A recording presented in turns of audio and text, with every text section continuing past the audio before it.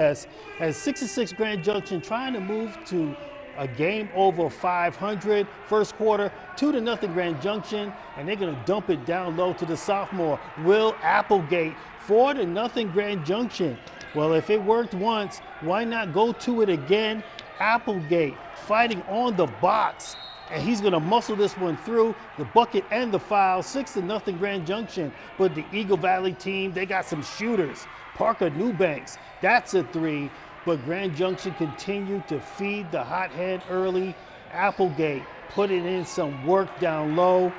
But again, I told you, Eagle Valley, they got some shooters. This is Nico Van Strandendorf. And I watched that man heat it up in warm-ups. Eagle Valley trails eight to six.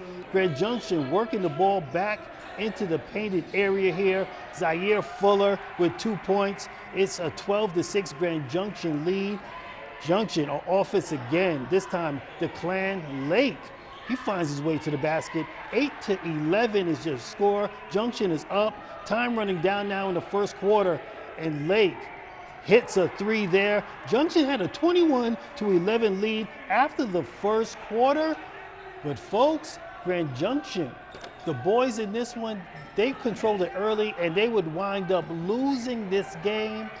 Eagle Valley comes from behind and they take this one 67 to 57.